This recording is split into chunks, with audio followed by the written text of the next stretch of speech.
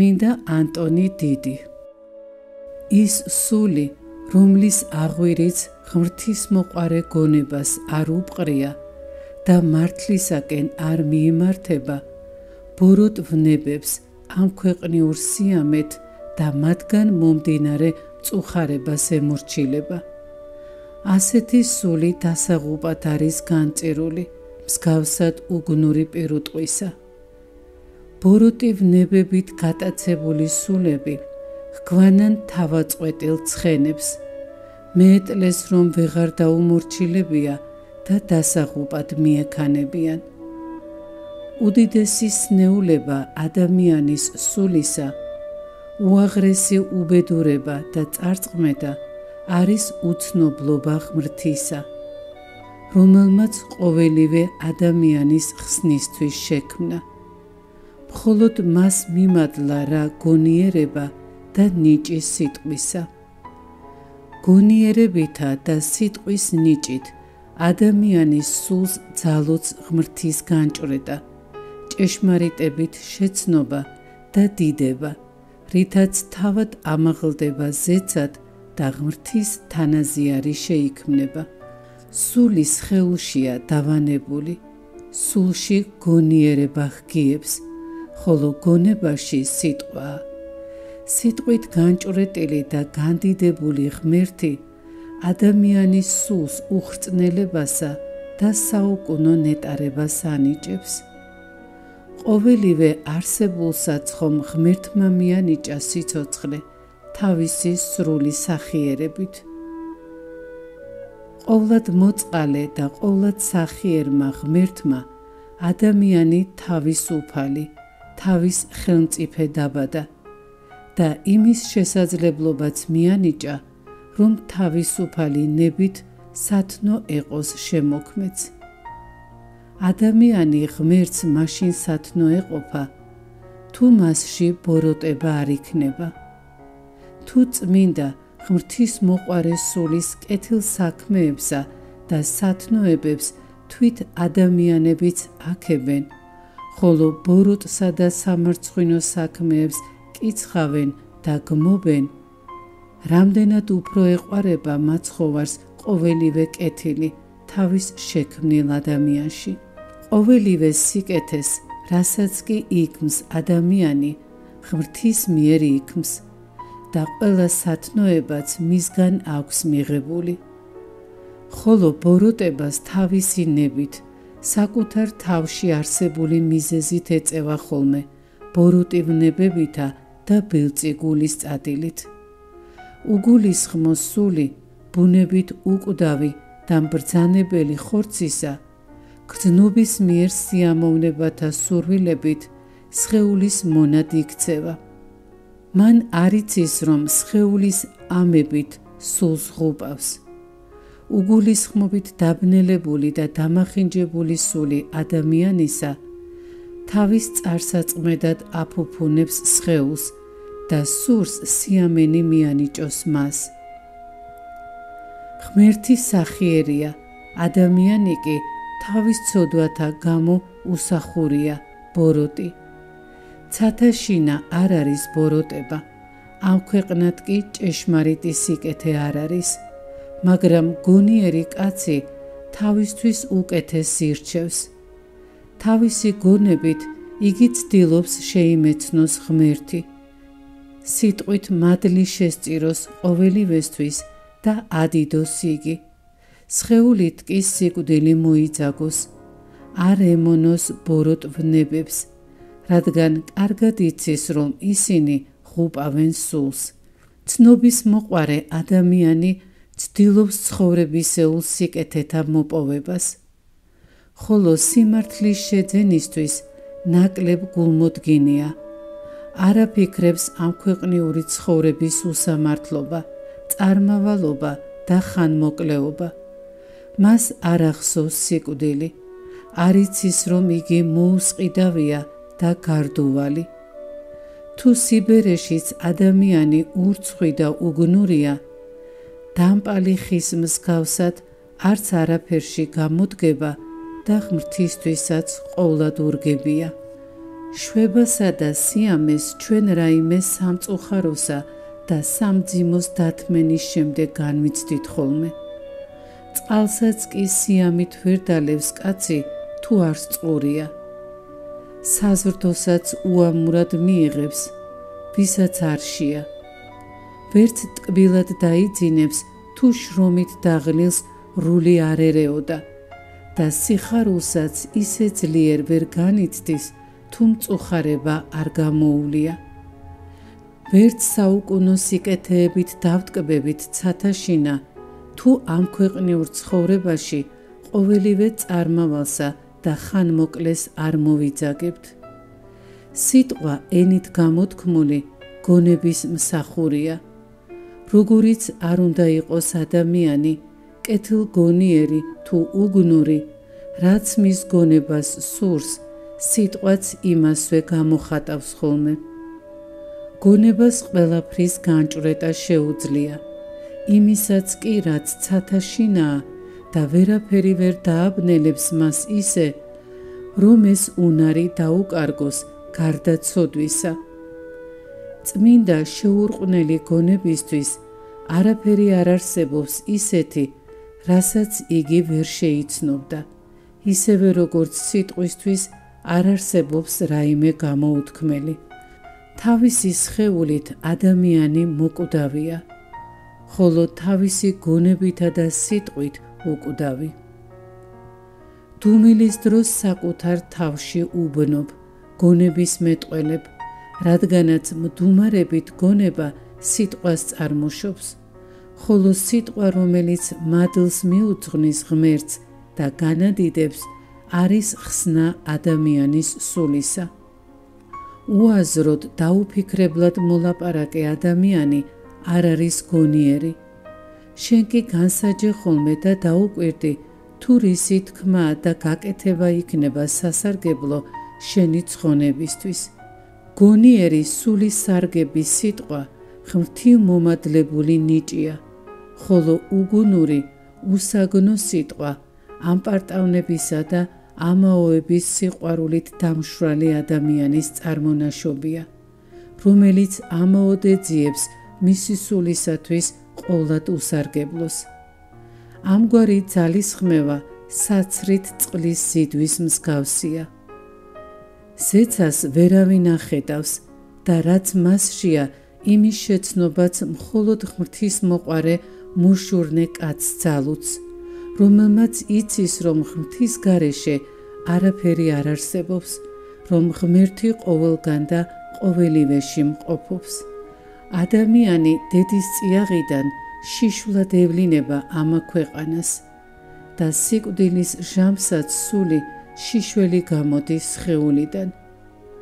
სულთაგან ერთნი წმინდანი და ნათელნი არიან, სხვანი კი ცოდვებით დასრილ დალაქავებულნი. გონიერი ღმრთის მოყარე სული ვიდრე სხეულშია მარად ფიქრობს სიკვდილის შემდგომ მოსალოდნელ სატანჯველზე და კეთილკრძალულებით ცხოვრობს რათა ღმერთმა არ დასაჯოს ხოლო ურწმუნო ადამიანები და სულით უგნურნი ყოველივე ამას არას დაგიდებენ და სწოდავენ ისინი ამ ქვეყნიურ ცხოვრებაში იმაზე კი არ ფიქრობენ რაც მათ სიკვდილის შემდგომ მოელით. როგორც ხორციელად შობილს არ ახსოვს, რაც დედის წიაღში ყოფნისას ხდებოდა მის თავს, ისე სხეულიდან განსვლისას არ ეხსომება სულს არაფერი, რაც მანამდე იყო. როგორც ხორციელად დაბადების შემდეგ იზარდე და შეიქენი სხეულით უფრო დიდი, ძლიერი და უკეთესი, ისე სხეულიდან წმიდად და შეუგინებლად განსული უხრწნელად დაიმკვიდრებს სასუფეველს ცათაშინა საუკუნოთ. როგორც დედის წიაღში ჩასახული, განვითარებული და ჯეროვან სისრულეს მიღწეული სხეულისთვის იყო აუცილებელი შობა, ისევე აუცილებელია ღმრთის მიერ დადგენილ ხორციელ ზღვარს მიღწეული სულის განსვლა სხეულიდან. როგორც შენ მოექცევი საკუთარ სულს ვიდრე იგი ხურციელ სხეულშია დამკვიდრებული, ამგვარადვე მოგექცევა ისიც სხეულიდან განსვლის შემდეგ. თუ ადამიანი კარგად ემსახურა თავის სხეულს ამ ქვეყნად, არანაირი შვება სიამე არ მოაკლო და ყოველგვარად აფუფუნებდა. ამით მეტად ცუდი სამსახური გაუწია საკუთარ თავს. რადგანაც გარდაცვალების შემდეგ ის მხოლოდ სატანჯოს მოუგებს თავის სულს.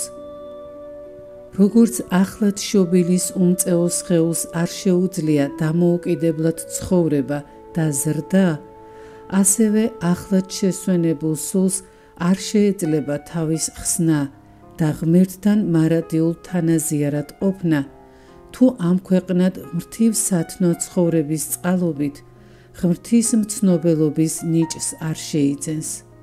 სულთან შერწყმული სხეული დედის წიაღიდან სამზეოზე გამოდის და ამქვეყნიურ ცხოვრებას იწყებს. სული კი სხეულიდან განსვლამდე ხორციელ წყდიათში ტყვევდება, რადგანაც ხორცი წინააღმდგომია საპატიმროა სულისა. იგი კი არ უნდა გვებრალებოდეს, კი არ უნდა აფუფუნებდე მას, არამედ ლაგამი მткиცეთ უნდა ამოსდო მის ურჩობასა და თავკერძოობას. მრავალნი სიამენი ბოროტ ვნებებს აღძრავენ ადამიანში. მათ შორის ნაყრომანებაც ბილწგულის წადილს აღძრავს. მარხვა და თავშეკავება კი აცხრობენ ვნებებსა და იხსნიან სულს.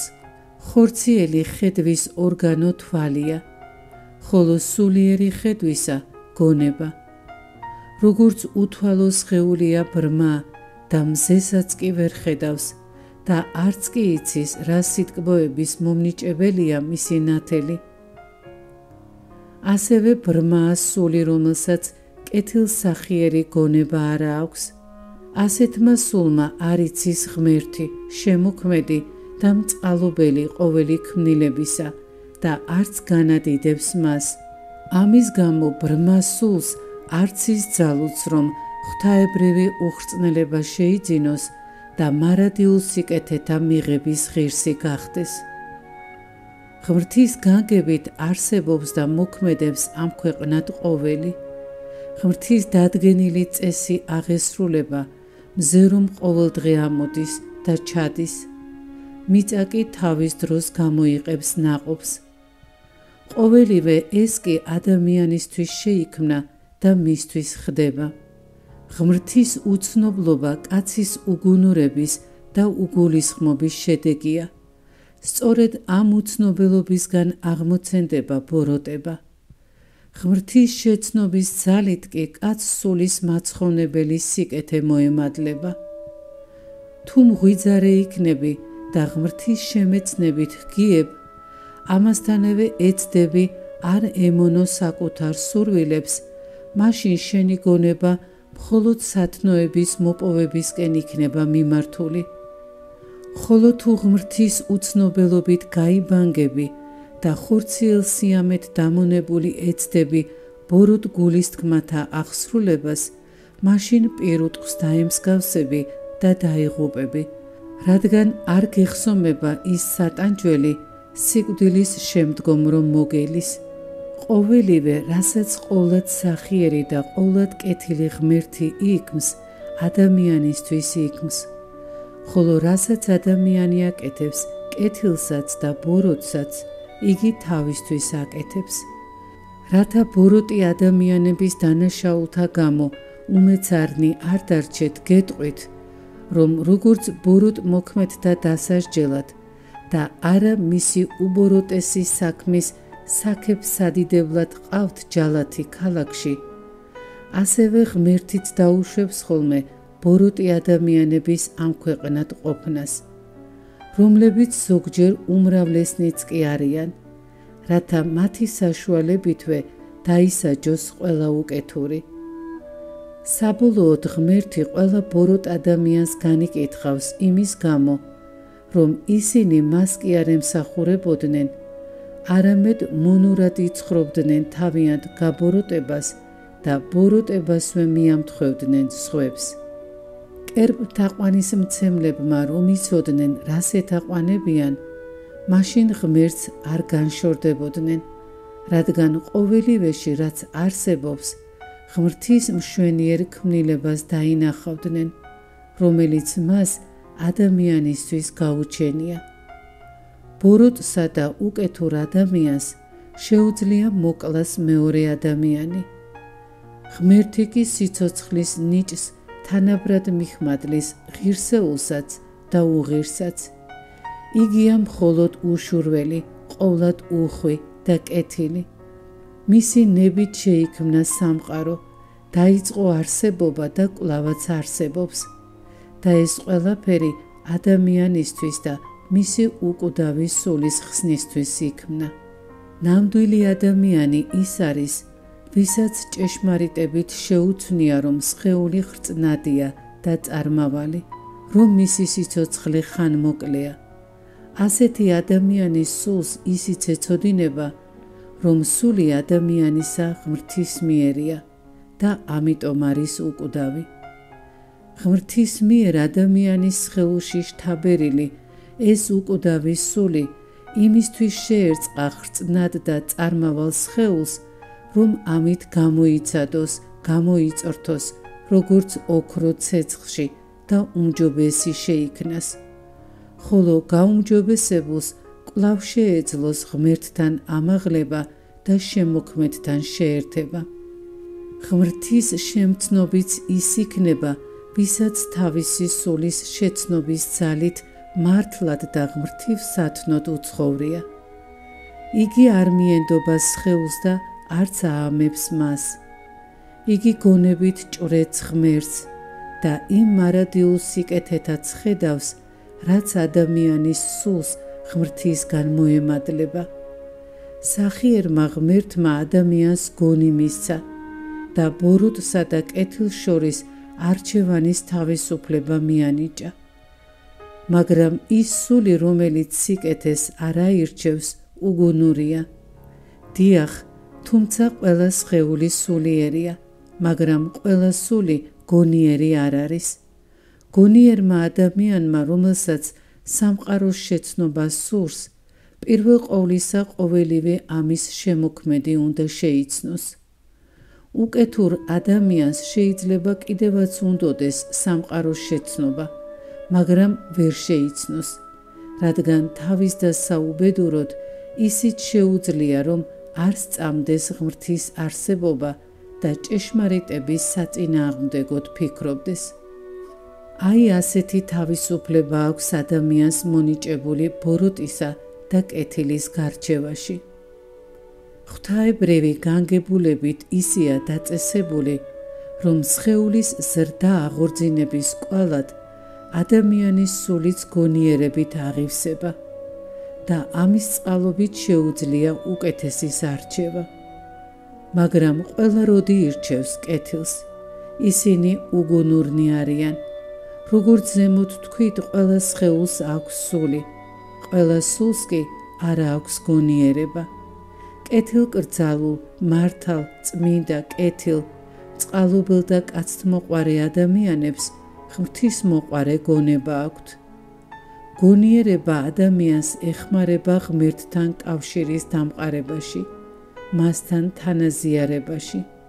ერთადერთი რაც ადამიანს არ შეუძლია, ესაა სიკვდილის თავიდან აცილება და ამ ქვეყნად თავის ხეულში უკვდავად ყოფნა.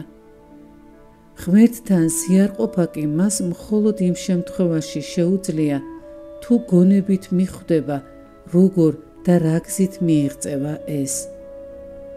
თუ კაც ამის დიდი სურვილი, გულისხმის ყოფა, რწმენა და სიყვარული ექნება, რასაც იგი ღმრთის სათნო ცხოვრებით დაადასტურებს, მაშინ იგი ღმრთის თანამოსაუბრე შეიქნება. კაცის თვალი ხილულს ხედავს, გონება კი უხილავს წდება. ღმრთის მოყარე გონება ნათელია სულისა. ვისაც ღმრთის მოყარე გონება აქვს, იგი გულით განათლებულია და ძალუც გონებით განჭრიტოს ღმერთი. კეთილის მოქმედი ადამიანი ღმრთის მიერ სირცხვირეული არ იქნება. ბოროტი და ხორციელი სხეულის მოყარე კაცი კეთილი ვერ იქნება. სათნოებისა და კეთილმსახურებით ცხოვრების დასაბამია მოძაგება და უგულვებელ ყოფა ხორცისა. თუ ჩვენ საკუთარი ნებით და არა იძულებით უარყოფთ ყოველივე ამ ქვეყნიურს, წარმავალს, ხრწნაცა და ნივთიერს, მხოლოდ მაშინ შევიქნებით ღირსნი საუკუნო და უხრწნელ სიკეთეთა დამკვიდრებისა ცათაშინა. ვინც ნამდვილად გონიერია, მან იცის, რომ მოკვდავი ხრწნადი სხეულის მქონე ადამიანია. ხოლო საკუთარი თავის შემცნობმა კი სხვა ყოველივეს გამოც იცის, რომ ყველაფერი ღმერთის ქმნილებაა და მის მიერ ადამიანის ხსნისთვისაა დაბადებული. ადამიანს ხელეწიფება შემეცნება და გულისხმის ყოფა ყოველივესი და ისიც რომ რწმენა მის ნებაზეა დამოკიდებული. ასეთმა ადამიანმა მткиცედ იცის, რომ ცხოვრებისეული სიკეთეების უგულებელ მყოფელთ ძალზე მცირე შრომა და სიძნელე შეხვდებათ ხოლმე ამა ცხოვრებაში. ხოლო უდიდეს ნუგეშსა და მოსვენებას მიიღებენ ღმრთისგან სიკვდილის შემდეგ.